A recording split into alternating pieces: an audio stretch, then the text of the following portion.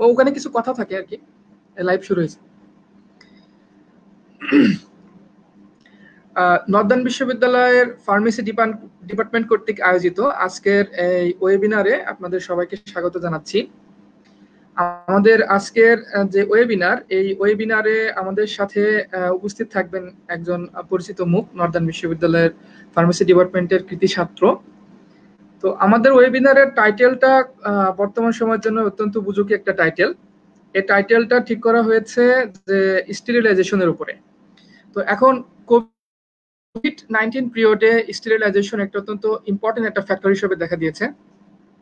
তো এখন আমাদেরকে বলা হয় যে একটু পরপর হাত ধুইতে, আমাদেরকে বলা হয় যে একটু পরপর যেন আমরা স্যানিটাইজেশন করি। তো স্যানিটাইজেশন আমাদের জীবনের সাথে যেরকম জড়িত ঠিক তেমনি ড্রাগ ম্যানুফ্যাকচারিং এও স্যানিটাইজেশন অত্যন্ত গুরুত্বের সাথে জড়িত। কারণ ড্রাগের অপর নাম হচ্ছে জীবন। পানির অপর নাম জীবন এই কথাটা সবসময় ঠিক না, বিশুদ্ধ পানির অপর নাম জীবন। তো পানির বিশুদ্ধতা যেরকম গুরুত্বপূর্ণ, ঠিক তেমনি ড্রাগের বিশুদ্ধতা অত্যন্ত গুরুত্বপূর্ণ। তো আমাদের এই স্টেরিলাইজেশনের উপরে আমাদেরকে অত্যন্ত মূল্যবান কথা এবং ধারণা দেওয়ার জন্য একজন গেস্ট উপস্থিত থাকবেন।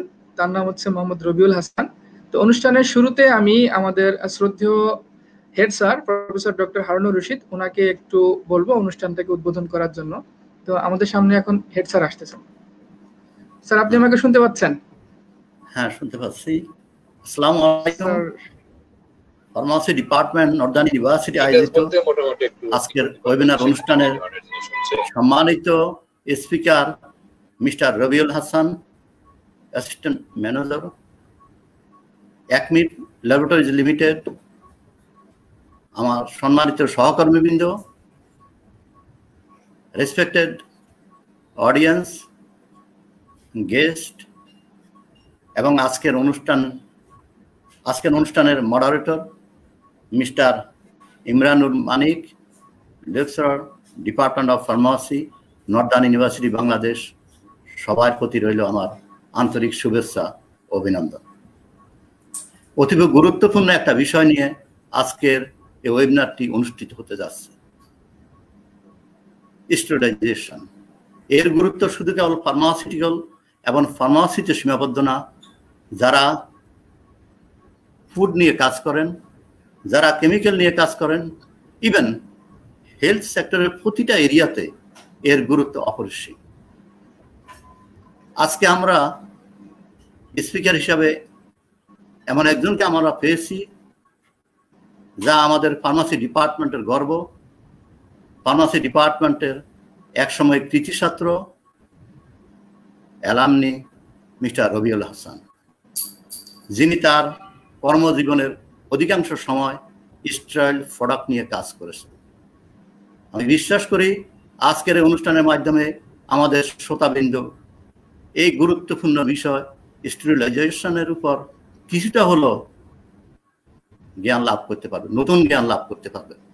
এবং তাদের এই বিষয়ের উপর যদি কোনো কনফিউশন থাকে, কিছুটা হলো লাঘব হবে। আমি এই অনুষ্ঠানটা সুন্দর ও সার্থক হোক, এই আশা রেখে আমাদের সম্মানিত মডারেটরকে অনুষ্ঠানটি কন্টিনিউ করার জন্য অনুরোধ করছি।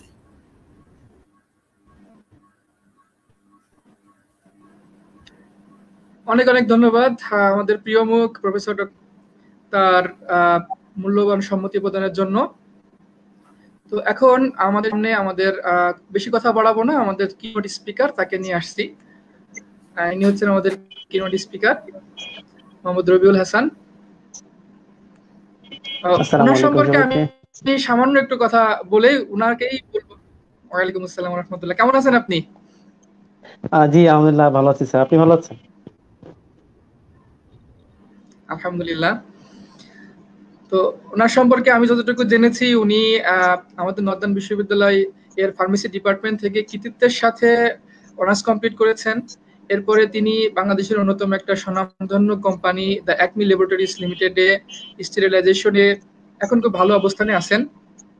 আমরা যখন ঢাকায় আসতাম, তখন দেখতাম কল্যাণপুর থেকে বাম দিকে তাকাইলে দেখা যায় কোর্ট ডি লা অ্যাকমি। জিনিসটা জানতাম না পরবর্তীতে ফার্মেসি পড়ার সুবাদে জানলাম যে এটা বাংলাদেশের অন্যতম একটা নাম করা নাম করা ফার্মাসিউটিক্যাল কোম্পানি এবং এদের লোগোটাও খুব চমৎকার। লোগো নিয়ে একটা মজার কথা ইনশাল্লাহ বলা চাইব ভবিষ্যতে, যদি সময় পাই। তো যাক, আমি আর কথা বাড়াবো না। এখন আমি আমাদের ফ্লোরকে দিয়ে দেব আমাদের সম্মানিত স্পিকারকে তিনি একটু আমাদেরকে, তার সম্পর্কে সামনে একটু যদি বলেন। জি। ওকে যেমনটি স্যার বলছিলেন, আমি এমডি রবিউল হাসান যারা আমাকে চিনেন, সবাই সম্ভবত রবি নামেই চিনেন বাট আমার অফিসিয়াল নাম হচ্ছে আসলে এমনি রবিউল হাসান। তো আমি স্যার যেমনটা বলছিলেন যে আমি কারেন্টলি আসলে একমি ল্যাবরেটরিজ লিমিটেডে আছি। তো একমিতে কারেন্টলি বলতে আমি আসলে আমার জবের ফার্স্ট ফার্স্ট জব আমার একমি আমি শুরু করেছি এখানে এবং তারপর থেকে প্রায় ছ বছর হতে চলল আমি একমিতে আছি। তো আমার যে ডিপার্টমেন্ট যেটা আমি কাজ করি সেটা হচ্ছে আসলে স্টেরাইল ডিপার্টমেন্ট আর কি। স্টেরাইল ডিপার্টমেন্ট সম্পর্কে সবারই সম্ভবত আইডিয়া আছে। একদম ফ্রেশার যারা আছেন, তারা ছাড়া। তো স্টেরাইল ডিপার্টমেন্টটা হচ্ছে যেখানে স্টেরাইল প্রোডাক্টগুলো তৈরি করা হয় আর কি যেরকম ইনজেকশন বা স্যালাইন মানে যেগুলোতে আমরা এসভিপি এলভি বলে থাকি, এই এই টাইপের প্রোডাক্টগুলো। তো আমি বি ফার্ম কমপ্লিট করেছি আমি সেটা ফোরটিন ব্যাচের ছিলাম বেসিক্যালি তো আমি বি ফার্ম কমপ্লিট করেছি দুই হাজার চোদ্দ সালে আর কি চোদ্দ সালের মাঝামাঝিতে। তো তারপরে আমি দায়িক মিল ল্যাবরেটরিজ লিমিটেড জয়েন করেছি এবং সেখান থেকে আজ পর্যন্ত এখানে আছি। আর আমার মানে একটা কমন প্রশ্ন স্যার করে থাকেন সবাইকে, যে আমি আসলে কেন ফার্মেসি পড়তে চেয়েছিলাম বা আমার মোটো কি ছিল? আসলে সত্যি কথা বলতে যেরকম সবাই চিন্তা করে থাকে যে, ছোটবেলায় একটা স্বপ্ন থাকে যে তারা এমন কিছু করবে, এমন কোন সার্ভিসে জয়েন করবে যেটা কিনা আমাদের পিপল আমাদের সমাজের লোকজন যারা আছেন তারা উপকৃত হবেন। তো ছোটবেলা থেকে আমরা আসলে ডাক্তার ইঞ্জিনিয়ার এসব পেশার নাম শুনে এসেছি। তো ফার্মাসিউটিক্যাল সম্বন্ধে আমাদের কারোই তেমন কোনো আইডিয়া ছিল না। তো যখন কিনা আমার ইয়ে শেষ হলো, আমি ইন্টারমিডিয়েট কমপ্লিট করলাম এসএসসি কমপ্লিট করলাম। তারপরে আমি আমার আসলে ফার্মাসিউটিক্যাল সম্পর্কে ভালো মতো জানার সুযোগ হয়েছে যে হ্যাঁ এরকম একটা সাবজেক্ট আছে যেটাতে ডাক্তার ইঞ্জিনিয়ার না হয়েও আসলে মানুষের সেবা করা সম্ভব বা সার্ভিসটা একটা চ্যারিটেবল সার্ভিস এমন একটা সার্ভিস যেটাকে সবসময় আসলে সম্মানের চোখেই দেখা হয় বা দেখা হবে আর তো এটা ছিল একটা কারণ। আর আর একটা কারণ ছিল এরকম যে আমার ছোটবেলায় আসলে ইচ্ছা ছিল যে আমি পড়ালেখার জন্য বাইরে যাব, দেশের বাইরে স্টাডি কন্টিনিউ করব। তো এই টার্গেট নিয়ে ভর্তি হচ্ছিলাম, যদিও পরবর্তীতে অনেক অলস হয়ে গেছি। আর ওই ইচ্ছাটা মাথায় ছিল না যে আবার স্টাডিতে চলে যাব। তারপর জব থেকে বেরো সরি ফার্ম কমপ্লিট করার পরে আমি যখন জবে জয়েন করি, তারপর থেকে ইচ্ছাটা আরও মানে আরও চলে গেছে। তো বেসিক্যালি আমার সম্বন্ধে বলতে গেলে এতটুকু। আচ্ছা আরেকটু আরেকটু পার্সোনাল হয়ে আপনার সাথে যে আপনার এই যে চার বছরের ইউনিভার্সিটি লাইফ অনার্স জীবন অনার্সের লাইফ সম্পর্কে আমাদের একটু সামান্য, আমাদের ডিপার্টমেন্ট সম্পর্কে আপনার অভিজ্ঞতা, আপনার অভিমত সামান্য যদি একটু আমাদের সাথে শেয়ার করেন। আচ্ছা যখন আসলে যে সময়টা আমরা ইয়েতে ছিলাম আসলে নর্দনে ছিলাম এই সময় আমাদের সাথে কয়েকজন ওয়ান্ডারফুল স্যার ছিলেন আর কি। মানে আমি যদি নাম বলতে যাই তাহলে অনেকের নাম বলতে হবে যে রাশিদুল ইসলাম স্যার, তারপর হচ্ছে যে আমাদের সজল স্যার ইভেন আমরা হাসনাত স্যারকেও পেয়েছি। তারপর আমার তালেব স্যার ছিলেন, আর হারুন রশিদ স্যার তো সবার উপরে সবসময় ছিলেন। তারপর আমাদের, আমরা আসাদ স্যারকে পেয়েছি। তারপর মিসবা আহমেদ স্যার ছিলেন আমাদের সময়। চৌধুরী মাহমুদ হাসান স্যার ছিলেন মুনির হাসান ম্যাডাম ছিলেন জেবুন্নাহার ম্যাডাম ছিলেন। তো আসলে আমাদের স্টাডি লাইফটা যখন আমরা ভার্সিটি ছিলাম এমন ভাবে কেটেছে যে মনে হচ্ছে আমরা সবসময় একটা ফ্যামিলি এনভায়রনমেন্টের মতো আছি। স্যাররা, আমার মনে হয় যে মোস্টলি এটা বুঝতে দেন নাই যে আমরা আসলে এমন একটা প্রতিষ্ঠানে আছি যেখানে ফ্যামিলি এনভায়রনমেন্টের বাইরে কোনো কিছু আছে। তো এখানে নর্দার্নের সব থেকে ভালো যে বিষয়টা ছিল সেটা হচ্ছে আমি বলব যে নিজের মতো করে চলতে পারা বা নিজের মতো করে পড়তে পারা হ্যাঁ? তো এখানে আপনি যেভাবে পড়তে চান, আপনি যেভাবে এগোতে চান, সে ব্যাপারে স্যাররা সবসময়ই সাপোর্ট দিতেন। কেউ কখনো আপনাকে পিছন থেকে ধরে থাকতেন না। তো যখন আমি ইয়েতে ছিলাম, আমি সম্ভবত ফোর্থ সেমিস্টার বা ফোর্থ সেমিস্টারের শেষের দিকে সম্ভবত ফোর্থ সেমিস্টারের শেষের দিকে আসার পরে আমার সুযোগ হয়েছিল কিছু রিসার্চ বেস কাজ করার হারুন রশিদ স্যারের সাথে। আর যদিও কাজটা আমি শেষ পর্যন্ত কমপ্লিট করি নাই, আমি বেসিক্যালি একটু অলস এর জন্য আর কি। তো আমাদের টাইমটা ছিল ওয়ান্ডারফুল টাইম ছিল আর কি। তো এর মধ্যে আমাদের সময় সব থেকে একটা বড় একটা প্রোগ্রাম অ্যারেঞ্জ করা হয়েছিল মানে ওই সময়ের মধ্যে বড় ছিল আর কি। আমাদের ফার্মা এক্সপো আমাদের সময় সময় শাহাবুদ্দিন ভাই স্যার ছিলেন আর কি। শাহাবুদ্দিন ভাই আমাদের আসলে একটু সিনিয়র ছিলেন, খুব বেশি সিনিয়র না। তো আমরা ভাই বলে ডাকতাম। উনি এখন ফ্যাকাল্টিতে আছেন। স্যার। ওনার সাথে আসলে এই প্রোগ্রামটা করা হয়েছিল তো এটা আসলে আমার লাইফের মানে স্মরণীয় হয়ে থাকার মতো একটা ইভেন্ট যেভাবে এটা এগিয়েছিল, যত বিষয় নিয়ে কাজ করা হয়েছে, আর যত ভালো টাইমটা আসলে কাটানো হয়েছে এটা আসলে ভার্সিটি লাইফ বা স্কুল লাইফ কলেজ লাইফ মানুষ এমনিতেই বেসিক্যালি ভুলতে পারে না। যদিও কলেজ লাইফের টাইমটা একটু লিমিটেড বলে হয়তো মানুষের তো মনে থাকে না। বাট ভার্সিটি সবসময় ভার্সিটি সবসময় মনে থাকে। আমার তো বিশেষ করে আমাদের স্যারেরা ছিলেন, যে ম্যাডামরা ছিলেন, তাদের কথা মনে হইলেই আর কি একটা অন্যরকম ফিলিংস কাজ করে ভিতরে যে হ্যাঁ আমি একটা ভালো জায়গা থেকে আসছি। আর পড়ালেখার পরিবেশ যদি বলি, তাহলে আমি বলি আমি আরও একটা দুটো ইউনিভার্সিটিতে গেছি আমি মাস্টার্স করেছি। তো সে যারা, আমি বলব যে, তারা আসলে তাদের নামের যত বড় মর্যাদা আছে হ্যাঁ এত বড় মর্যাদা থাকলেও কাজের দিক দিয়ে আমাদের ভার্সিটির যে পরিবেশ, সেটা আমি বলব অনেক আগে। এটা একদম আমার পার্সোনাল এক্সপিরিয়েন্স অবজারভেশন অনেক ধন্যবাদ আমাদের সাথে সুন্দর অভিজ্ঞতা শেয়ার করার জন্য। তো আমরা এখন আপনার কাছ থেকে স্টেরিলাইজেশন সম্পর্কে যতটুকু সম্ভব ধারণা নেওয়ার চেষ্টা করব। আপনার আছে প্র্যাকটিক্যাল নলেজ আর আমাদের হয়তো বা কিছু কারও থিওরিটিক্যাল নলেজ আছে। তো প্রথম আপনার কাছে জানতে চাইব যে স্টেরিলাইজেশন এই টার্মটা ফার্মাসিউটিক্যাল সেক্টরে আসলে কি হিসেবে ব্যবহৃত হয় এবং এটার প্রকারভেদ কি কি? মেইনলি স্যার স্টেরিলাইজেশন বলতে যেটা বোঝানো হয় সেটা হচ্ছে যে আপনি কোন একটা পার্টিকুলার প্লেস থেকে পার্টিকুলার কোনো প্রোডাক্ট থেকে, কোনো সার্ভিস থেকে আপনি all type of living micro organism all type of living all type of life form আপনি হচ্ছে হয় সেটা ডিঅ্যাক্টিভেট করে দিবেন, সেটা কিল কিল করবেন অথবা সেটা এলিমিনেট করে দিবেন। মানে আপনি যে প্লেসটা স্টেরিলাইজেশন করবেন বা যেখানে স্টেরিলাইজেশন কনসেপ্টটা আসবে স্টেরিলাইজেশনটা আসলে একটা প্রসেস তো এই প্রসেসটা মানে প্রসেসটা এমন হইতে হবে যে আপনি যখন বলবেন যে এই জায়গাটা স্টেরাইল বা এই জায়গায় স্টেরিলাইজেশন করা হয়েছে, সেখানে কোনো টাইপের লাইফ ফর্ম লিভিং কোনো ফর্ম ওইখানে থাকতে পারবে না। স্টেরিলাইজেশনের যদি আপনি ডেফিনেশন বলেন, তাহলে এক বাক্যে আসলে এটাই বলা যায় যে এটা প্রসেস যে প্রসেসে আসলে যে প্রসেস ক্যারি আউট হওয়ার পরে ক্যারিড আউট হওয়ার পরে আর সেখানে কোনো টাইপের লিভিং অর্গানিজম থাকবে না বা কোনো লাইফ ফর্ম থাকবে না। সেটা হতে পারে ব্যাকটেরিয়া হইতে পারে ফাঙ্গাস হইতে পারে কোনো পোকামাকড় বা প্রাণী হোয়াট আপনি যা বলেন। কিন্তু মূল যে থিম সেটা হচ্ছে যে স্টেরিলাইজেশন হচ্ছে এমন কনসেপ্ট যেখানে স্টেরিলাইজেশন করার পরে আর কোনো লিভিং লিভিং কোনো অর্গানিজম বা কোনো লাইফ ফর্ম ওইখানে থাকতে পারবে যদি থাকে তাহলে সেটা স্টেরিলাইজেশন না। যদি স্টেরিলাইজেশনের ডেফিনেশন বলি তাহলে এইভাবে। আর যদি আমরা স্টেরিলাইজেশনের প্রকারভেদ বলতে যাই, তাহলে স্যার স্টেরিলাইজেশনের কয়েক রকম প্রকার আছে। যদি মেইনলি বলেন, তাহলে আসলে দুই রকমের বলা হয় আর কি। যে ফিজিক্যাল কেমিক্যাল বা ফিজিক্যাল আসলে অনেকগুলো টাইপ আছে কেমিক্যাল অনেক টাইপ আছে বাট আমি শুধু ফার্মাসিউটিক্যালস যেগুলো ইউজ হয় সেগুলো নিয়ে কথা বলছি। তো ফিজিক্যাল যে স্টেরিলাইজেশন প্রসেসগুলো আছে, এর মধ্যে যেগুলো আপনাকে ধরা হয় প্রথমত, সেটা হচ্ছে যে হিট স্টেরিলাইজেশন এই হিট স্টেরিলাইজেশনের মধ্যে আবার দুই রকম আছে।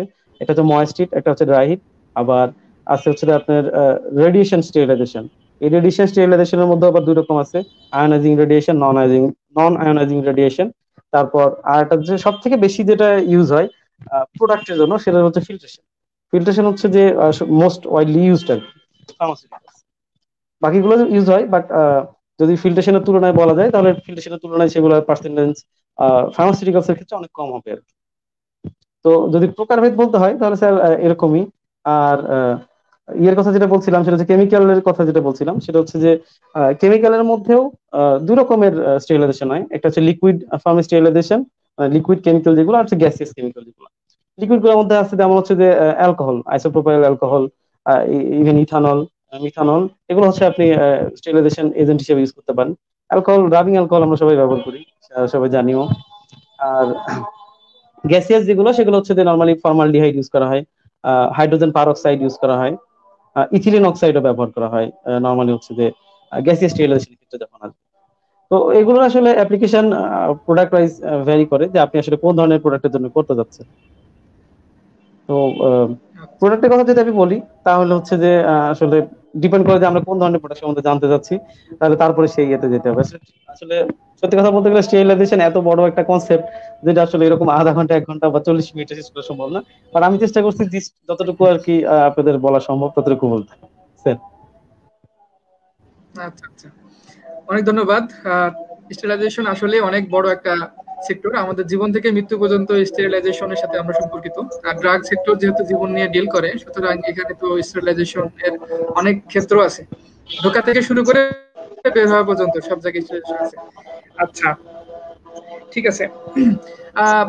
আপনাকে আরেকটা প্রশ্ন করব, সেটা হচ্ছে হেপা ফিল্টার নিয়ে আমরা অনেক কথা শুনছি আর কি। স্টেলাইজেশনের ক্ষেত্রে হেপা ফিল্টারের নামও শুনছি।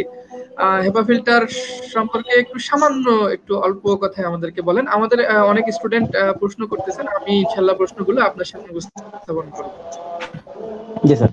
তো হেপা ফিল্টারের কথা যেটা বলতেছিলাম যে, আমি বলছিলাম যে ফিজিক্যাল যে স্টেলাইজেশন প্রসিডিউরগুলো আছে, তার মধ্যে মোস্ট ওয়াইডলি ইউজ হচ্ছে ফিল্ট্রেশন তো এই হেপা ফিল্টারটা আসলে ফিল্ট্রেশন টাইপের স্টেলাইজেশন একটা পার্ট তো ফিল্ট্রেশনের স্টেলাইজেশন বলতে গেলে আসলে, তাহলে আমাদের জানতে হবে ফিল্ট্রেশন ফিল্ট্রেশন স্টেলাইজেশন আসলে কি? তো আমরা নর্মালি ইয়েতে যেগুলো পড়ে আসছি মানে সোজা কথা ইউনিভার্সিটি যেগুলো জেনে আসছি বা বিফার্মে যেগুলো পড়ে আসছি, সেগুলো মেইনলি হচ্ছে মেমব্রেন টাইপের যে ফিল্টারগুলো আছে মেমব্রেন টাইপের ফিল্টার দিয়ে স্টেরিলাইজেশন কিন্তু ফার্মাসিউটিক্যালসে মোস্ট ওয়াইডলি ইউজ হচ্ছে কার্টিস টাইপ ফিল্টারের স্টেরিলাইজেশন তো যখন আমি কার্টিস টাইপ ফিল্টারের স্টেরিলাইজেশনের কথা বলব, তখন হচ্ছে এখানে আবার অনেকগুলা কনসেপ্ট আসবে আর কি। যে আপনি যখন স্টেরিলাইজেশন বলতেছেন, তখন আপনি আসলে কিসের স্টেরিলাইজেশন করতে যাচ্ছেন? আপনি কি লিকুইড প্রোটের স্টেরিলাইজেশন করতে যাচ্ছেন? আপনি কি এয়ার স্টেরিলাইজেশন করতে যাচ্ছেন? আপনি কি গ্যাসের স্টেরিলাইজেশন করতে যাচ্ছেন? ডিপেন্ড অন দ্যাট তো যদি লিকুইড স্টেরিলাইজেশনের ক্ষেত্রে মানে লিকুইড কোনো প্রোডাক্ট স্টেরিলাইজেশনের কথা বলি, তাহলে সেগুলো হচ্ছে আমাদের হাইড্রোফিলিক টাইপের ফিল্টার ব্যবহার করতে হয়। হাইড্রোফিলিক আপনি সবাই জানেন হাইড্রোফিলিক মানে হচ্ছে ওয়াটার লাভিং যে সাবস্টেন্সগুলা ওয়াটার লাভিং যে সাবস্টেন্স বা যে কেমিক্যালগুলো আছে, সেগুলো হচ্ছে হাইড্রোফিলিক আমরা বলে থাকি। তো এই ফিল্টারগুলো এরকম যে এই ফিল্টার গুলোতে শুধুমাত্র আপনি হয়তো লিকুইড পাস করতে পারবেন ওয়াটার পাস করতে পারবেন বা আপনি ক্ষেত্র বিশেষে হয়তো নন অ্যাকোয়াস যে সলভেন্টগুলো আছে, যেরকম অ্যালকোহল বা অয়েলি সাবস্টেন্স আপনি এর মধ্যে পাস করতে পারবেন। কিন্তু আপনি এর ভিতরে এয়ার পাস করতে পারবেন না। এটা হচ্ছে যে হাইড্রোফিলিক ফিল্টারগুলোর হচ্ছে একটা ভ্যারিয়েন্ট আর তারপরে যেটা আসে, সেটা হচ্ছে যে আপনি যদি হাইড্রোফোবিক ফিল্টারের কথা বলেন হাইড্রোফোবিক ফিল্টার হচ্ছে যেগুলো আপনার এয়ার বা গ্যাসের স্টেলাইজেশনের জন্য ব্যবহার করা হয়। তো যদি এয়ার স্টেলাইজেশন মানে এয়ার সরি হাইড্রোফোবিক যে ফিল্টারগুলো বলছিলাম এটা আরেকটু বলা দরকার, সেটা হচ্ছে যে এই ফিল্টারগুলো আবার হচ্ছে হাইড্রোফিলিক ফিল্টার অপোজিট তো আপনি যদি হাইড্রোফোবিক ফিল্টারের ভিতর দিয়ে এয়ার পাস করাতে চান বা গ্যাস গ্যাসের সাবস্টেন্স পাস করাতে চান, তাহলে সেটা পসিবল কিন্তু এই হাইড্রোফোবিক ফিল্টারের ভিতর দিয়ে আপনার পানি আসবে না। পানি তখনই যেতে পারবে যখন আপনার ফিল্টারটা কিনা নষ্ট হয়ে গেছে বা ফেটে গেছে। তখন এটা পসিবল তাছাড়া হবে না। তো হেপা ফিল্টার আসলে এই হাইড্রোফোবিক ফিল্টারের একটা ভেরিয়েন্ট তো ফার্মাসিউটিক্যালস গুলোতে আমরা জানি যে স্টেরাইল এরিয়াতে কাজ করতে হলে বা স্টেরিলাইজেশন করতে হলে আপনি বিভিন্ন ক্লাস মেনটেন করতে হয়। হ্যাঁ? তো class A B C D যারা সেভেন বা এইট সেমিস্টারের সম্ভবত আমাদের এগুলো পড়ানো হয় টেকনোলজিতে তো এইসব গ্রেডের কথা আমরা জানি যে বি সি ডি এরকম বিভিন্ন ক্লিন ক্লাসের গ্রেড আছে। তো এই ক্লিন ক্লাসগুলো আমরা নর্মালি করে থাকি হচ্ছে পার্টিকেল কাউন্টের উপরে বেস করে। যে point two মাইক্রনের sorry point zero point five মাইক্রনের পার্টিকেলের কাউন্ট কত আর ফাইভ পয়েন্ট জিরো মাইক্রনের পার্টিকেল পার্টিকেলের কাউন্ট কত? এর উপরে বেস করে হচ্ছে আমরা ক্লাসিফিকেশন করে থাকি। বাট এই ক্লাসিফিকেশনের আরও একটা ভিত্তি আছে, সেটা হচ্ছে এয়ার চেঞ্জ রেট আপনি যদি একটা এরিয়াকে ক্লাস এ বা ক্লাস বি বা ক্লাস সি ডি হিসেবে ক্লেম করতে চান, তাহলে তার একটা এয়ার চেঞ্জ রেট আছে। এই এয়ার চেঞ্জ রেটটা সম্বন্ধে আসলে আমাদের খুব বেশি ইয়ে নাই বেশি জানা নাই। তো যারা আসলে স্টেরিলাইজেশন বা স্টেরাইল ইউনিটে আসতে চাবেন, তাদের কাজ করতে চান, তাদের জিনিসটা পরবর্তীতে জানতে হবে যে আপনার air change rate air change rate হচ্ছে আপনার একটা এরিয়াতে কি পরিমাণ এয়ার আছে এবং সেটা কত রেটে চেঞ্জ হচ্ছে? মানে ধরে নেন একটা রুমের মধ্যে হয়তো আমরা ধরে নিলাম যে এক হাজার লিটার এয়ার আছে। তাহলে আমি এক হাজার লিটার এয়ারকে রিপ্লেস করতে যাচ্ছি। তো সেটা যদি আমি করতে চাই, তাহলে হইতেছে এখানে আরও এক হাজার লিটার এয়ার আসতে হবে। আবার এই এক হাজার লিটার এয়ার চেঞ্জ করে আবার আরও এক হাজার লিটার আনতে হবে। এটা একটা কন্টিনিউস ফ্লো থাকে। তো আপনি যদি ক্লাস এ গ্রেড ক্লেম করতে চান, তাহলে আপনার air change rate more than sixty per hour হতে হবে। মানে এক ঘন্টায় অন্তত ষাট বারের বেশি আপনার পুরো এয়ার পুরো এরিয়ার এয়ার চেঞ্জ করতে হবে। আর যদি আপনি বি গ্রেড ক্লেম করতে চান, তাহলে ফিফটি থেকে সিক্সটি যদি সিগ্রেট ক্লেম করতে চান, তাহলে আমরা থার্টি থেকে ফিফটি আর ডি ক্লেম করতে চাইলে আসলে একটু নন স্পেসিফিক আপনি তিরিশের কম যে কোনো একটা এয়ার চেঞ্জ রাখলেও পার্টিকেল কাউন্ট যদি মিট করে, তাহলে সেটা আপনি হচ্ছে ইয়ে করতে মানে ক্লেম করতে পারবেন যেটা ক্লাস ডি এরিয়া তো আমি এই যে ক্লাসিফিকেশনগুলো বললাম, এগুলো বলার পিছনে লজিক ছিল এই যে ফিল্টারগুলো আপনি আনতেছেন, যে ফিল্টার গুলোতে সরি যে যে এয়ারগুলো আসতেছে রুমে চেঞ্জ হওয়ার জন্য, এই এয়ারগুলো কোন একটা ফিল্ট্রেশন সিস্টেমের মাধ্যমে আসতে হয়। কারণ আমরা জানি বাইরের নর্মাল যে এয়ারগুলো আছে সেগুলোতে আপনার নানা রকম ধুলা, বালি পার্টিকেল ব্যাকটেরিয়া তারপরে পোলেন অনেক কিছু থেকে যায়। তো এগুলো যদি আমরা রুমের মধ্যে নিয়ে এসে এয়ার চেঞ্জ ঠিক ঠিক রাখি, তাহলে হচ্ছে যে আপনার স্টেরিলাইজেশন মানে ওই এরিয়ার স্টেরিলিটি ওই এরিয়ার যে ক্লাস সেটা মেনটেন হবে না। তো এই এরিয়ার যে ক্লাস সেটা মেনটেন করার জন্যই হচ্ছে আমাদের হেপা ফিল্টার ইউজ করতে হয়। তো হেপা ফিল্টারগুলো যদি আমি টাইপ বলি, তাহলে এগুলো আসলে হাইড্রোফিক টাইপের ফিল্টার আর এগুলোর আবার গ্রেড আছে, যে আপনি কি ধরনের, কোন এরিয়াতে আসলে আপনি ব্যবহার করতে যাচ্ছেন এই হেপা ফিল্টারগুলো? হেপা ফিল্টারগুলো মেইনলি হচ্ছে যে এয়ার সার্কুলেশনের জন্য। সেগুলো এয়ার সার্কুলেশনের লাইনে ব্যবহার করা হয় আর কি নর্মালি হেপা ফিল্টারের আবার দুইটা গ্রেড আছে, আপনার এইচ থার্টিন এইচ ফোরটিন তো এইচ থার্টিন যে ফিল্টারগুলো, সেগুলোতে, সেগুলোর ক্লাসিফিকেশন এরকম যে আপনার জিরো পয়েন্ট থ্রি মাইক্রন সাইজের বা জিরো পয়েন্ট থ্রি মাইক্রোমিটার সাইজের আপনার ninety nine point nine five percent particle remove করতে পারবে। সেটা হচ্ছে এইচ থার্টিন গ্রেডের ফিল্টার আর এইচ ফর্টিটা আরেকটু আপগ্রেডেড সেটা হচ্ছে যে ninety nine point nine nine five percent particle zero point three micron সাইজের পার্টিকেল এইচ ফোরটিন গ্রেডের ফিল্টারগুলো রিমুভ করতে পারে। এগুলো হচ্ছে হেপা ফিল্টার এগুলো হচ্ছে যে আপনি হেপা ফিল্টারের সাথে কথা বলতে গেলে এর সাথে আরও কিছু বিষয় জড়িত থাকে।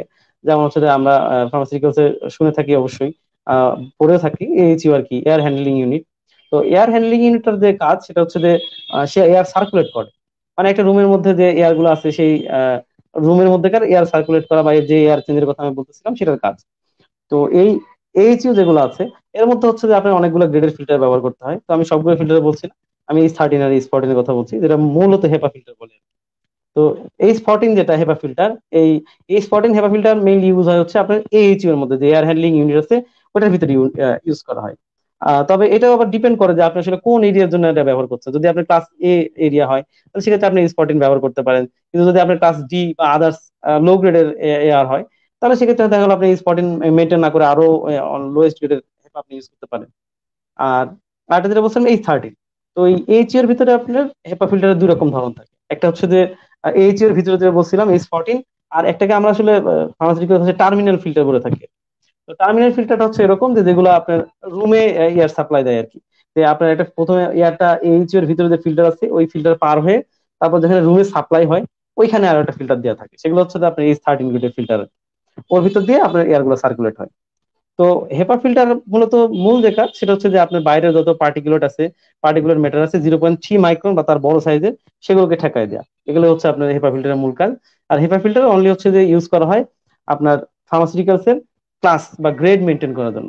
কোনো কিছু স্টেরাইল করার জন্য আসলে হেপা ফিল্টার মা সরি এটা ভুল বলা হবে। মানে শুধুমাত্র এয়ার স্টেরাইল করার জন্য আপনি হেপা ফিল্টার ব্যবহার করতে পারবেন। তবে কোনো প্রোডাক্ট বা আদার্স কোনো কিছু ফিল্টারেশনের জন্য হেপা ফিল্টার ইউজ হয় না। প্রোডাক্ট যদি সেটা আপনার গ্যাসিয়াস প্রোডাক্ট হয়, যদি এয়ার প্রোডাক্ট হয়, যদি আপনার কেমিক্যাল প্রোডাক্ট হয়, তাহলে সেক্ষেত্রে হচ্ছে আপনার ডিফারেন্ট টাইপের ফিল্টারেশন টেকনোলজি ইউজ হয়। সেগুলোতে হচ্ছে আপনার হেপা ফিল্টার ইউজ হয় না। এগুলো বিভিন্ন রকম কার্টিজ আছে, বিভিন্ন রকম ম্যাটেরিয়ালের কনস্ট্রাকশন মেটেরিয়াল সেগুলো আলাদা আলাদা। তার উপরে বেস করে আপনার প্রোডাক্টের উপরে বেস করে সেই ফিল্টারগুলো চেঞ্জ করা তো হেপা ফিল্টার মূলত হচ্ছে আপনার ফার্মাসিউটিক্যালস এর ক্লাস কন্ট্রোলের কি আর মূল উপাদান বলতে পারেন। অনেক ধন্যবাদ। আপনার কাছ থেকে শুনছিলাম, আমার মনে হচ্ছিল যে আপনি দেখে দেখে বলতেছেন, ঝর্ণাধারার মতো ক্যাসকেড ফ্লো হচ্ছে। তো আমাদের যারা স্টুডেন্ট আছে, তাদেরকে বলব যে দেখেন, আসলে নলেজ এরকমই হওয়া উচিত, যেন সে জিনিসটাকে এমন ভাবে আয়ত্ত করবে মনে হবে যেন আমি দেখে দেখে বলছি। তো আপনার কথা যতই শুনছিলাম ততই ভালো লাগছিল কিন্তু আমাদের সময়ের সংকীর্ণতার কারণে আসলে আমরা বেশি দূর কথা শুনতেও পারতেছি না বেশিক্ষণ স্টেও করতে পারতেছি না। তবে মন ভরতেছে না নিয়ত থাকল ইনশাল্লাহ নেক্সট ডে আপনাকে নিয়ে বড় প্রোগ্রাম করতে। আসলে অনেক বড় ফিল্ড সে সম্পর্কে আমাদেরও জানা দরকার। তো আমি এই পর্যায়ে একটু কোয়েশ্চেন একটা নিতে চাই। আপনি কি দেখতে পাচ্ছেন? এখানে আমাদের একজন স্টুডেন্ট রমিম ভুইয়া, সে প্রশ্ন করছে যে, হঠাৎ the guidelines for disinfection and sterilization against COVID nineteen তো কোভিড নাইন্টিনের স্টেরিলাইজেশনের সম্পর্কে সে একটু কিছু জানতে চাইছে আর কি। আচ্ছা কোভিড নাইন্টিনের ক্ষেত্রে যে জিনিসটা আছে, সেটা হচ্ছে যে আমরা যেগুলো বলতেছিলাম যে স্টেরিলাইজেশনের যে ব্যাপারগুলো আছে, সেটা হচ্ছে আমরা যখন ফার্মাসিউটিক্যাল স্টেরিলাইজেশনের কথা বলে থাকি, তখন মূলত ফোকাস থাকে সেগুলো হচ্ছে আপনার ব্যাকটেরিয়া লাইফ লাইভলি থিংস যেগুলো, সেগুলোর ক্ষেত্রে। হ্যাঁ আমরা সবাই জানি যে ভাইরাস আসলে এটা একটা লিভিং অর্গানিজম অথবা লিভিং অর ডেড এর মাঝখানে কোনো কিছু কিনা, এ নিয়ে একটা কনফিউশন রয়েছে। তো হেপা মানে কোভিড নাইন্টিন যেভাবে কাজ করে বা যেভাবে স্প্রেড করে, সেগুলোর সাথে আসলে আমাদের ফার্মাসিউটিক্যাল প্রোডাক্টস এর খুব বেশি কানেকশন নাই। তবে নর্মালি যেগুলো সিস্টেম আছে যে আমাদের কোভিড নাইন্টিনের ক্ষেত্রে যে প্রিকশনগুলো ইউজ করা হয়, সেটা আমাদের যে রাবিং অ্যালকোহল আমি বলছিলাম যে কেমিক্যাল স্টেরিলাইজেশন যে মেথডগুলো রাবিং অ্যালকোহল যেমন অ্যালকোহল সরি আইসোপ্রোপাইল অ্যালকোহল মানে সেভেন্টি পার্সেন্ট আইসোপ্রোপাইল অ্যালকোহল যেটা মেইনলি তারপর হচ্ছে আপনার প্রোপানল যেগুলো আছে তারপর হচ্ছে যে মিথানল এটার বিরুদ্ধে কাজ করে ইথানল কাজ করে, এগুলো একটা সার্টেন কনসেন্ট্রেশন যদি আপনি ইউজ করেন, তাহলে হচ্ছে আপনি কোভিড নাইন্টিন যে ভাইরাসটা আছে, সেটাকে ডিস্ট্রয় করতে পারবেন। এই ভাইরাসটা আসলে বডিতে ঢোকার আগ পর্যন্ত ডিস্ট্রয় করা খুব ইজি নর্মাল যে স্টেলাইজেশন যে প্রসিডিউর যেগুলো আছে, এগুলো সবগুলোতেই আমাদের এগুলো ডিস্ট্রয় হয়ে থাকে। তো আমাদের এখানে আপনারা দেখতেছেন সবাই যে কোভিড নাইন্টিনের ক্ষেত্রে যেটা বলা হয়েছে, সেটা হচ্ছে যে আমরা সবাই মাস্ক পরেই এই কোভিড নাইন্টিন কে আসলে প্রিভেন্ট করতে পারি। মূলত আসলে এটাই যে কোভিড নাইন্টিন ভাইরাসটা যেভাবে ছড়ায়, সেটা হচ্ছে মূলত আপনার এয়ার ড্রপলেটের মাধ্যমে। তো এয়ার ড্রপলেটের ক্ষেত্রে যেটা হয় যে, এদের surface contamination rate I mean ইয়ের ক্ষেত্রে কোভিড এর ক্ষেত্রে আপনার যেটা হয়, সেটা হচ্ছে যে সার্ফেস কন্টামিনেশন রেট এর খুবই কম। যে এক জায়গায় হয়তো কেউ হাতি কাশি দিয়েছে, সেটা একটা সার্ফেসে লেগে আছে। তারপর একটা আপনি সার্টেন টাইম পরে এসে সেখানে হয়তো হাত দিলেন, দিয়ে তারপর সেই হাত নাকে মুখে চোখে দিলেন। তারপর তাহলে হচ্ছে আপনার কোভিড নাইন্টিন হয়ে যাবে। হ্যাঁ এভাবে ভাইরাসটা ছড়াতে পারে বাট এই ট্রান্সমিশন রেট খুবই কম। তো এই জন্য যদি আপনি এক্সট্রা সিকিউরিটিতে থাকতে চান বা একটা গাইডলাইন বলেন, তাহলে হচ্ছে যে মূল যে গাইডলাইন সেটা তো মাস্ক ব্যবহার করেন। আর হচ্ছে যে আপনি যে জিনিসগুলো ইউজ করতেছেন, বিশেষ করে নাকে, মুখে বা চোখে হাত দেওয়ার আগে হাত রাবিং অ্যালকোহল দিয়ে বা কোন রকম ডিসইনফেক্টেন্ট দিয়ে আপনি হাত ওয়াইপ করে নিতে পারেন। তাহলে হচ্ছে যে আশা রাখি কোভিড নাইন্টিন হাত থেকে বেঁচে যাবেন। ধন্যবাদ। ফার্মাসিউটিক্যালসে আসলে অনেকে ভিজিট করেননি তো? ভিজিট করলে প্রশ্নগুলো আর একটু ম্যাচিউর হতে হয়তো বা? ফার্মাসিউটিক্যালসে যারা জব করেন, তাদেরকে যে কোনো সেক্টরে গেলে আইপিএ দিয়ে অবশ্যই তাকে হ্যান্ড স্যানিটাইজ করে ঢুকতে হয়। এটা হচ্ছে সবার জন্য বাধ্যতামূলক। ইভেন যে ওখানকার ডিএল তারও এই একই কাজ করতে হয়। তো পরবর্তী প্রশ্ন অনেক সুন্দর এবং বড় প্রশ্ন, আমাদের হাসান হাবিব পাটোরির কাছ থেকে আসছে। এই প্রশ্নের উত্তরের জন্য আপনার আলাদা প্রোগ্রাম করা দরকার। আমি ওকে বলছি আলাদা প্রোগ্রামের জন্য আপনাকে ডাকতে। তো প্রশ্নটা আপনি একটু যদি দেখেন। তো সে প্রশ্ন করছে মানে পুরোটা হয়তো আসবে না, যে সে বলতেছে যে ভাইয়া, যতদূর জানি আপনি এক মিনিট সব থেকে কম বেশি ম্যানেজার, আপনার এই সফলতার গল্প যদি বলতেন, যা আমাদের জন্য একটা অনুপ্রেরণার গল্প হবে।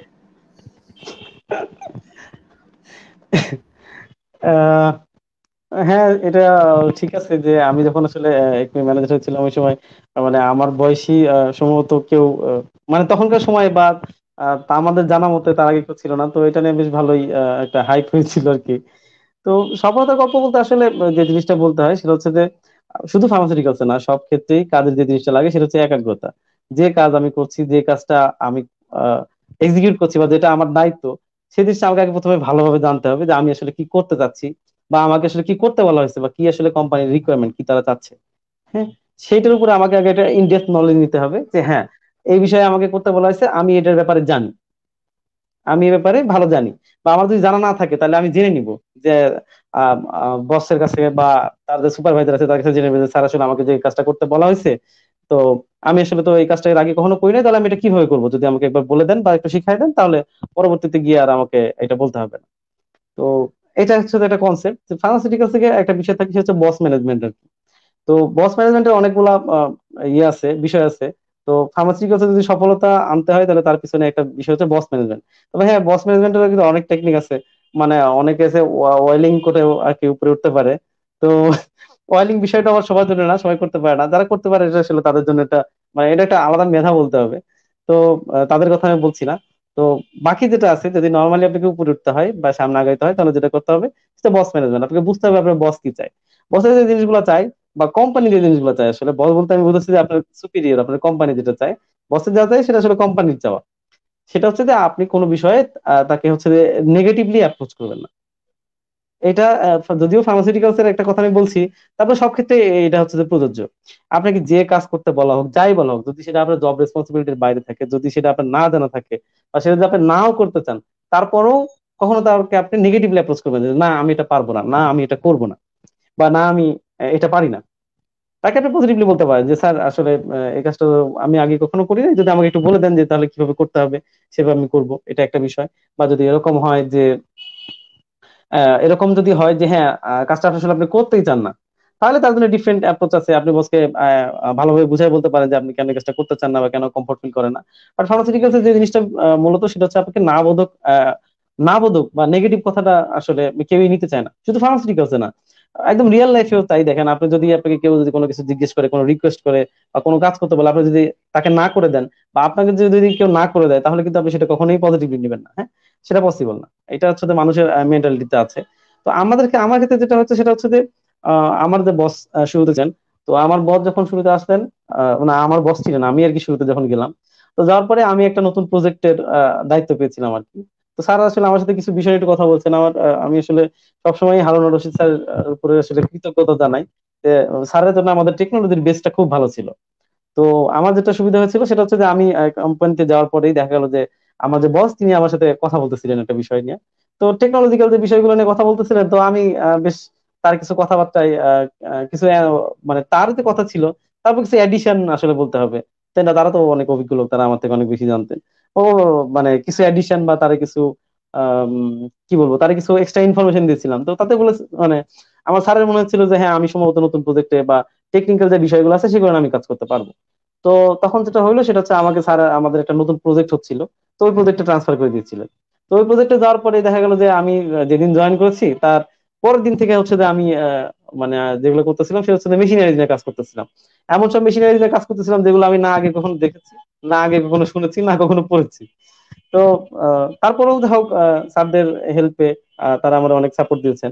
আমার নিজের ইচ্ছা ছিল মানে নিজের আগ্রহ ছিল। তো প্রথম যাদের সাথে কাজ করেছিলাম ওটা আসলে ইন্ডিয়ান টিম ছিল। ইন্ডিয়ান টিমে কয়েকজন দু একজন ছিল একটু কম বয়স্ক, আমার বয়সী। তারা আমার অনেক সাপোর্ট করেছিল ওই সময়। তো সব মিলে আমি আসলে ওই সময় একটা ভালো আউটকাম দেখাতে পারছিলাম। তো তখন স্যাররা বিষয় আমার বিষয়টা পজিটিভলি নিছেন যে হ্যাঁ আমার দিয়ে কাজ করানো যায় মানে প্রজেক্ট হ্যান্ডেলিং করানো যায়। তারপর থেকে আমি মূলত ছয় বছর ফার্মাসিউটিক্যালসে হইলেও আমি বেশ অনেকগুলো প্রজেক্ট নিয়ে কাজ করেছি।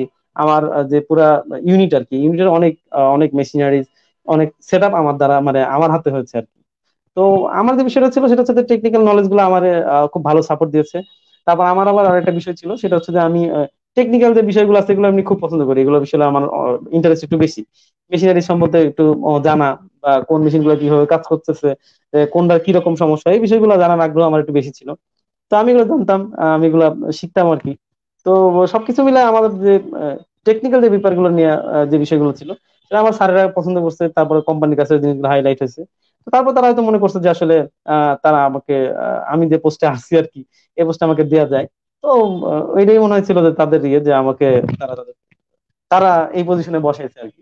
আমি সবচেয়ে জুনিয়র থেকে আজকে ম্যানেজার হয়েছিলাম আর আমাদের নর্দার্নের পারফরমেন্স যদি আমি বলি নর্দার্ন স্টুডেন্টের পারফরমেন্স সব জায়গায় মোটামুটি খারাপ বলা যাবে না। আমাদের এখানে কাজী শিশির সদীপ তো চিনে আর কি। আমাদের কাজী শিশির যে ছিল, শিশির ভাইয়া, শিশির আমার জুনিয়র আর কি। ও মাত্র দেড় বছর বয়সে হচ্ছে যে প্রথম প্রমোশন পাইছিল। ওইটাও এক ইতিহাসে প্রথম ছিল যে কেউ দেড় বছর বয়সে মানে জবের প্রথম দেড় বছর পরে হচ্ছে যে সিনিয়র এক্সিকিউটিভের প্রমোশন পেয়েছিল আর কি। তো অবশ্য চমৎকার ছেলে, খুব ভালো নলেজেবল ওরও এরকম বিষয়গুলো নিয়ে অনেক ইন্টারেস্ট আছে। জানাশোনার ব্যাপারে অনেক ইন্টারেস্ট সে যে ডিপার্টমেন্টে কাজ করতো, তার, অনেক লোকই ছিল তার উপরে আর কি ডিপেন্ডেন্ট তো সে থেকে অবশ্য পরে সুইচ করেছে, সে এখন রেনেটায় আছে। তো এরকম, আমি বলব যে যদি লাইফে আগাইতে হয়, তাহলে হচ্ছে যে টেকনিক্যাল যে বিষয়গুলো আছে সেগুলোর দিকে একটু নজর দেওয়া লাগবে। নেগেটিভ কোনো কথা বলা যাবে না। শুধু স্যারকে না, কোনো কলিগকে না। যদি আপনার আন্ডারে কোনো পিওনও থাকে, তাকেও না। কাউকে নেগেটিভলি কথা বলা যাবে না। নট অনলি অফিস বাইরেও না। তাহলে আমার মনে হয় যে সামনে এগোনো খুব একটা কঠিন কিছু হবে না। স্যার অনেক অনেক ধন্যবাদ। প্র্যাকটিক্যাল নলেজ এবং থিওরিটিক্যাল নলেজের ব্লেন্ড আপনার কথা শুনে, যেটা আমার কাছে মনে হলো আর কি। যে আপনার থিওরিটিক্যাল নলেজের অনেক স্ট্রং একটা বেসিস ছিল এবং সেটাকে আপনি প্র্যাকটিক্যালি কাজে লাগাইতে পারছেন। দুইটার ব্লেন্ড এবং আপনার অভিজ্ঞতা থেকে আমরা শিখতে পারলাম। আশা করি স্টুডেন্টরা এটাকে পজিটিভলি কাজে লাগাইতে পারবে এবং এটা কিন্তু খুব ইম্পর্টেন্ট একটা অভিজ্ঞতার অংশ, যেটা উনি অনেক দিন থেকে এই অভিজ্ঞতাটা অর্জন করছেন। আমাদের সাথে শেয়ার করলেন। আপনাকে অনেক ধন্যবাদ। এখন পাটোয়ারির এই প্রশ্নের সাপেক্ষে আমার শেষ প্রশ্ন আপনার জন্য আর কি। আমার পক্ষ থেকে ওই প্রশ্নের সাথে চলে আসে, তাই আমি ছাত্রদের পক্ষ থেকে, তরফ থেকে আমি প্রশ্ন করি যে যদি আমাদের স্টুডেন্ট যারা স্টেরিলাইজেশন সেক্টরে বা ফার্মাসিউটিক্যাল সেক্টরে যারা অ্যাপ্রোচ করবে, এখন যারা স্টুডেন্ট আছে, তাদের আসলে থিওরিটিক্যাল নলেজের ক্ষেত্রে কোন বিষয়গুলো দেখলে তাদের জন্য উপকার হবে বলে আপনি মনে করেন? ফার্মাসিউটিক্যাল সেক্টরে এখন যেটা আসছে যে একটু ওয়াইডলি বলি, সেটা হচ্ছে যে আমরা সবাই জানি যে অ্যান্ড্রয়েডের অ্যান্ড্রয়েড ফোনের ভার্সন এখন কত চলে? সম্ভবত ইলেভেন তারপর আইওএস এর সম্ভবত কত চলে? থার্টিন না ফোরটিন চলে। তো ফার্মা সেক্টরে ফার্মাসিউটিক্যালসেও ফার্মাসিউটি মানে ফার্মাসিউটিক্যাল সেক্টরে একটা ভার্সন আছে হ্যাঁ? তো ফার্মাসিউটিক্যাল সেক্টরের ভার্সন হচ্ছে যে এখন ফোর পয়েন্ট ও বলে ফোর পয়েন্ট জিরো তো ফার্মাসিউটিক্যাল ভার্সন মানে ফার্মাসিউটিক্যালসকে ভার্সনালাইজ করা হয়েছে এইভাবে যে টেকনোলজির যে আপগ্রেডেশন সেটা ফার্মাসিউটিক্যালসে কতটুকু ইমপ্লিমেন্ট হয়েছে তার উপরে বেস করে। তো ফোর পয়েন্ট ও যেটা এখন চলতেছে আর কি বাংলাদেশে আসলে ফোর পয়েন্ট এখন শুরু হয় নাই বা আসে নাই। একটু একটু হয়তো একদম স্মল স্কেলে শুরু হয়েছে বাট ইউরোপ আমেরিকা বা মডার্ন কান্ট্রি যেগুলো আছে, তারা অলরেডি ফোর পয়েন্ট হতে অনেকখানি চলে গেছে আর কি। তো আমাদের যে ফার্মাসিউটিক্যাল কোম্পানি যারা আছে, তারা কেউ এরকম ফোর না, তো তারাও ফোর পয়েন্ট ওতে যাবে। ফোর পয়েন্ট ওর যে কনসেপ্ট সেটা হচ্ছে যে ফোর পয়েন্ট ওতে আপনার যেটা করতে হবে, সেটা হচ্ছে যে পুরো সিস্টেম ফার্মাসিউটিক্যাল যে সিস্টেমগুলা আমরা এখন দেখতেছি, যেগুলো হচ্ছে কিনা ম্যান বেসড যেগুলো কিনা এখন মানুষজন হাতে করে সেই কাজগুলোকে তারা হচ্ছে যে রোবোটিক্স বা হচ্ছে যে কি বলে এটাতে ম্যানমেড যে থিংগুলো আছে মানে যেগুলো হচ্ছে মানুষের হাতে হাতে করতে হয় যেমন এখন প্যাকেজিং মানুষের হাতে টেকনোলজি বেসড চলে যাবে। রোবোটিক বা হচ্ছে টেকনোলজি দিয়ে এগুলোকে মেইনটেইন করবে। জি জি। হ্যাঁ হ্যাঁ মেইনটেইন করবে ইন্ডাস্ট্রিয়াল রেভলিউশন 4.0 জি রেভলিউশন ইয়েস 4.0 তো যদি আমাদের 4.0 ওতে যাইতে হয় আমাদের ধরতে হয় তাহলে আমাদের টেকনোলজিক্যাল নলেজগুলো ওই দিকে যাইতে হবে। আমাদের বেশ কিছু ইম্পর্টেন্ট টপিক আছে যে জিনিসগুলো আমরা হচ্ছে যে ভার্সিটি থাকতে পড়েছি বাট একটু কঠিন মনে হয়েছে বলে আসলে সেভাবে পড়ি নাই। যেরকম ধরেন লাইফিলাইজেশন প্রসেস লাইফিলাইজেশন প্রসেস একটা ওয়ান্ডারফুল একটা প্রসেস আর কি। টেকনোলজিক্যাল একটা ওয়ান্ডারফুল আমি বলব যে অ্যাচিভমেন্ট আর কি লাইফিলাইজেশন প্রসেস যদি আপনি এটা প্র্যাকটিক্যালি দেখেন তাহলে ওইটার উপরে ফ্রিজ টাইম রাইট যদি মানে আপনার একটা অন্য ধরনের ফিলিংস আসবে আর কি এটার উপরে যে এরকম এমন একটা মেশিন যেটার উপরে আপনার রেসপেক্ট আসবে। এটা এই টাইপের একটা যন্ত্র। তারপর হচ্ছে বিএফএস ব্লোফিল সিল ব্লোফিল সিলের ব্যাপারে যদি বলতে হয় তাহলে ব্লোফিল সিল হচ্ছে এরকম একটা মেশিন যেটাতে কিনা আপনার একটাই মেশিনে সেটাতে আপনার গ্লো মানে একটা বোতল তৈরি হবে সেটাতে আপনার একটা সলিউশন প্রিপেয়ার হবে সেটা ফিলিং হবে। মানে আমি লিকুইডের ক্ষেত্রে বললাম। মানে সবকিছু একটা মেশিনে আপনি শুধু তার যে র মেটেরিয়াল সেগুলো আপনি ইনপুট দিবেন, বাকিটুকু এক্সিকিউট করার দায়িত্ব তার। তো তাহলে যদি এই কাজগুলো আজকাল মানে ফোর পয়েন্ট ওতে মেশিনারিরা করে, তাহলে আমাদের কাজ কি? আমরা কি করব? হ্যাঁ? আমাদের জানতে হবে এই মেশিনারিজগুলো কীভাবে কন্ট্রোল করতে হয়। আধুনিক মেশিনারিজ কি আসতেছে? আধুনিক ফার্মাসিউটিক্যালসে কি আধুনিক আয়ন আসতেছে? তার সাথে আমাদের তাল মিলাই চলতে হবে। শুধু নট অনলি স্টেরাইল এরিয়া সব এরিয়াতে আপনার এই নলেজগুলো থাকতে হবে। যে টেকনিক্যাল যে বিষয়গুলো আছে, আপনাকে যদি আগাইতে হয় ফার্মাসিউটিক্যাল সেক্টরে যদি ভালো করতে হয়, তাহলে টেকনিক্যাল নলেজগুলো কোনো বিকল্প নাই। ইভেন এখন যদি আপনি আর এন ডিতে যান অনেকেই আমরা আমাদের মধ্যে একটা ধারণা আছে যে যদি আমরা কিউই কিসিতে যাইতে চাই বা আর এন ডিতে যাইতে চাই, তাহলে আমার টেকনোলজি এত ভালো পড়ার দরকার নেই। বা আমি যদি মার্কেটিং এ যাইতে চাই পিএমডি তে যাইতে চাই, তাহলে আমার হচ্ছে যে টেকনিক্যাল নলেজ এত দরকার নাই, তাহলে আমি শুধু ফার্মাকোলজি পড়ব।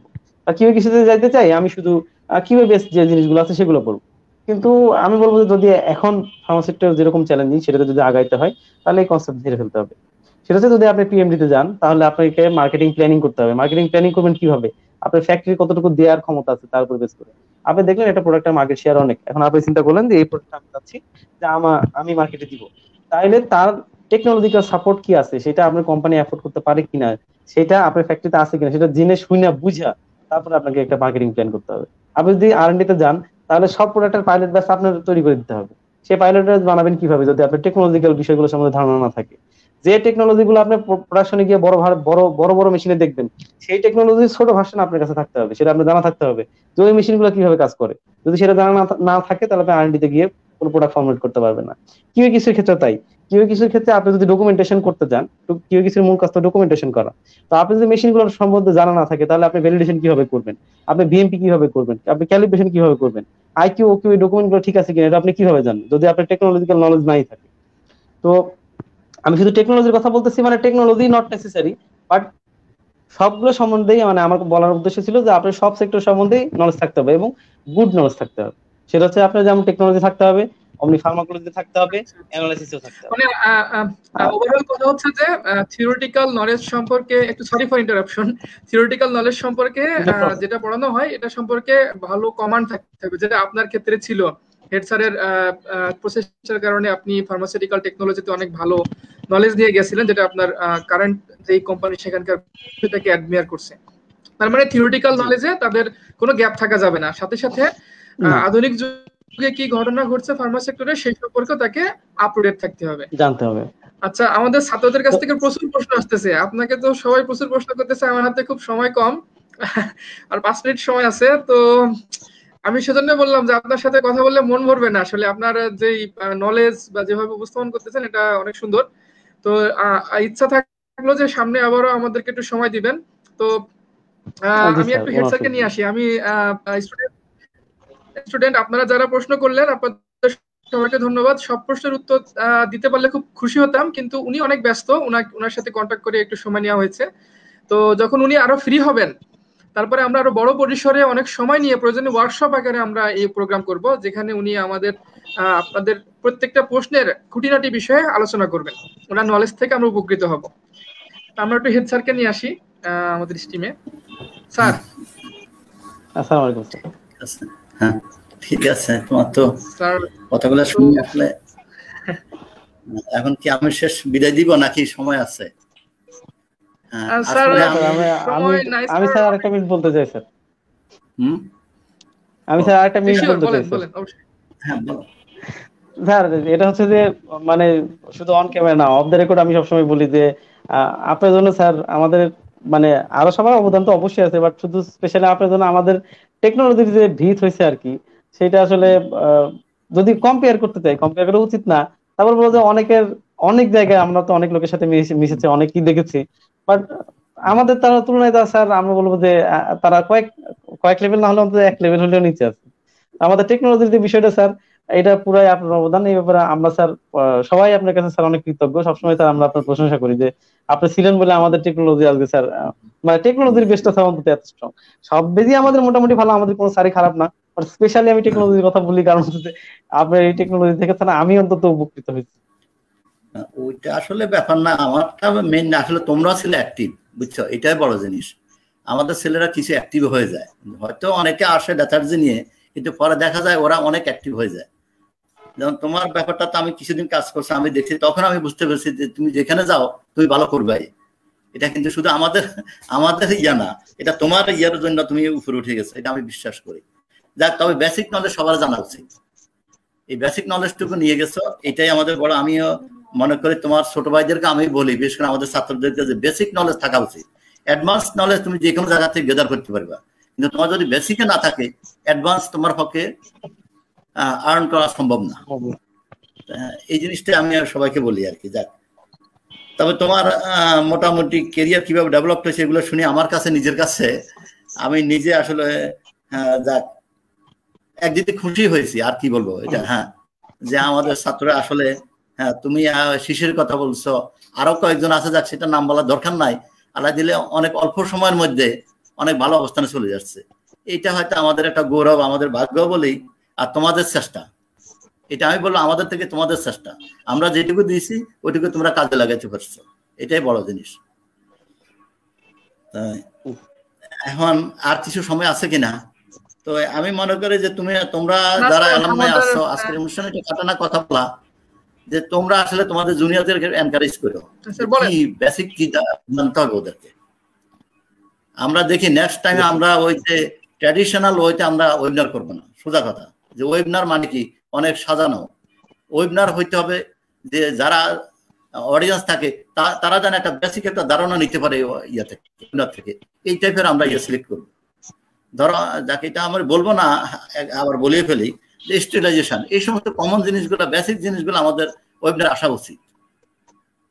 আমরা এমন কিছু নিয়ে আসব না যে জাস্ট ওয়েবিনারের নামে ওয়েবিনার করা, যেটা থেকে আমাদের শ্রোতারা আসলে কিছু জানতে পারে না।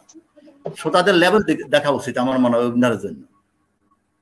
তাই আমরা সামনে এমন কিছু টপিক নিয়ে আসব যার দ্বারা আমাদের ওয়েবিনার আমাদের যারা আমাদের অডিয়েন্স থাকবে ওই লেভেলের মানে অডিয়েন্সটা অন্তত কিছু নিতে পারবে এই ওয়েবিনার থেকে।